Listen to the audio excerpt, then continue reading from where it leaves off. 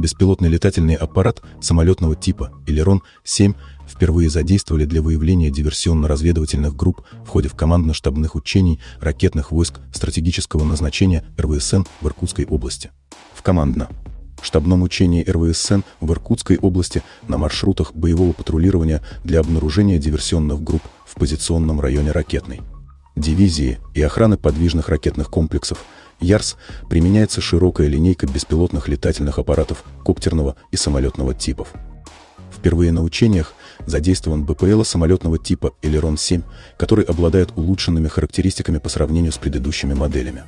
Комплекс предназначен для ведения контроля и наблюдения с воздуха объектов и техники на удаленных участках местности. В Минобороны России уточнили, что согласно плану учений, беспилотники в режиме передачи прямого видеосигнала обнаружили ДРГ, проводящее минирование дорог на маршрутах движения колонн, которые были своевременно нейтрализованы на дальних подступах к полевым позициям.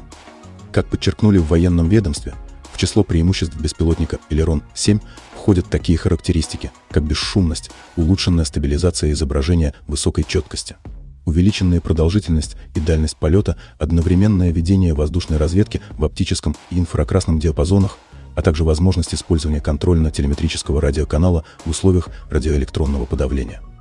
Максимальная высота полета над уровнем моря 5000 метров – Максимальная дальность передачи данных по цифровому видеоканалу 25 километров. Продолжительность полета 2,5 часа. Основные режимы полета автономный, автоматический и полуавтоматический –